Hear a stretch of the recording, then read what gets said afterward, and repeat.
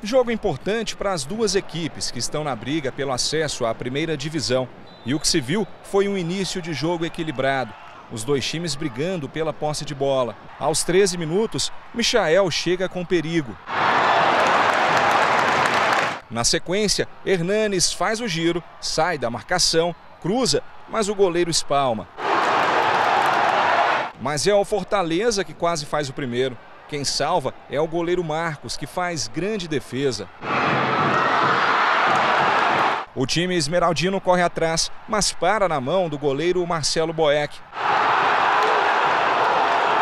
Aos 28 minutos, bate-rebate na área do Fortaleza. E quem leva a melhor é o zagueiro Vitor Ramos, que faz Goiás 1 a 0.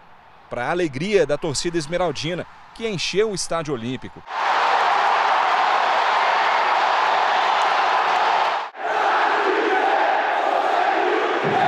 Rafinha faz passe incrível para Michael, que entra na área, mas a bola para na trave do Fortaleza.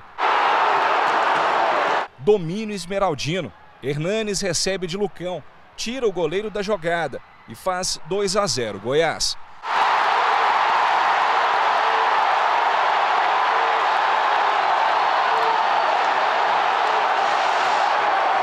No finalzinho do primeiro tempo, o Goiás ainda quase faz o terceiro.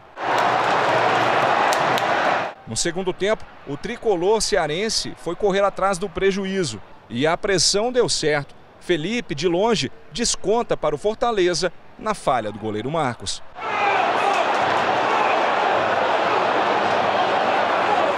Mas para espantar de vez o perigo, Hernanes recebe de Maranhão e faz o terceiro do Goiás.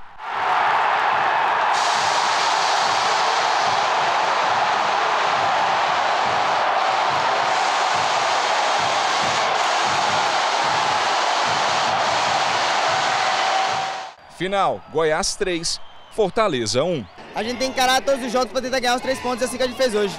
Entrou no G4, agora a gente tem que trabalhar para não sair mais. Com o resultado, o Goiás volta para o G4 e agora ocupa a terceira posição.